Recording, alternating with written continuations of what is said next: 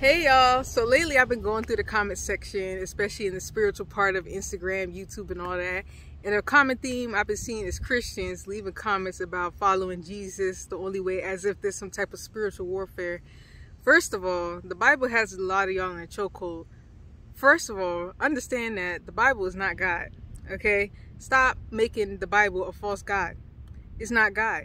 You don't need any book. You don't need any scripture. You don't need any religion to connect to God. I've been saying this so many times. Let people find their own way towards God. You can speak through God, directly to God. Not a Bible, not a book. That's not going to be your true connection and true relationship with God.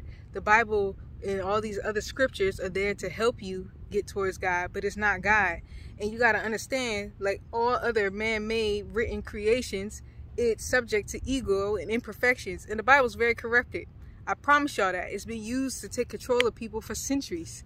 So stop trying to spiritual bypass or whatever term you want to do, call it trying to tell people to go towards Jesus and that's the only way and making it seem like they're uh, worshiping demons and stuff like that. Little do y'all know is the demons whispering y'all ears that kind of crazy buffoonery. Let people choose their own way towards God because the book is not God. All right. All you need to do is pray to reach God. All you got to do is meditate to reach God. That's my message. Peace.